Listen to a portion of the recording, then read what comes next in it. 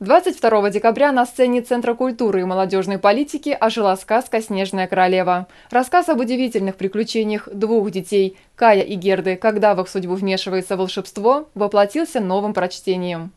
В основе мюзикла всем известная с детства сказка Ганса Христиана Андерсона. Режиссер постановки Галина Рудская представила зрителям настоящее театральное шоу, насыщенное танцевальными и вокальными номерами. В актерский состав вошли сольные исполнители, а также юношеские и взрослые коллективы Центра культуры и молодежной политики. В роли искренней и бесстрашной Герды выступила Александра Киселева. Роль Кая исполнил Артем Лыткин. Главную злодейку, могучую снежную королеву, сыграла Ирина Маслова. Размах постановки впечатлил и детей, и взрослых. Мюзикл Мюзикл длился больше двух часов. Костюмы и декорации были созданы сотрудниками Центра культуры и молодежной политики.